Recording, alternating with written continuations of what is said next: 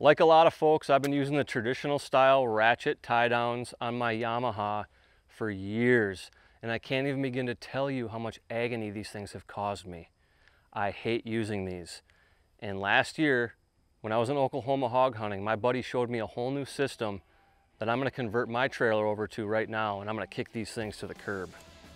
This new system that I'm putting on uses a retractable style ratchet tie down that's really easy to put on your trailer. And once it's on, you got the system going, it's gonna be super easy to get your machine on and off so you can get rolling when you want to. No more messing around with the old style straps. And right now, I'm gonna show you how to get this system installed on your trailer. Now, if you don't have metal on your trailer to drill through, you can always buy a sheet of metal for each of the anchoring points to help distribute the surface area a little bit more and give yourself a stronger system. In this case, I did have metal to drill through. Regardless, what you're gonna wanna do before you drill a hole is you're gonna wanna start a dimple with some type of punch. We used a nail punch and just hammered it to get it started so that when you send that first drill bit through, it's gonna be a lot easier to get the hole started.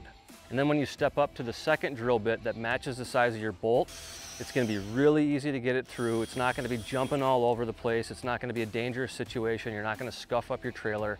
It's just gonna make a smooth channel with that second bit the size of your main bolt.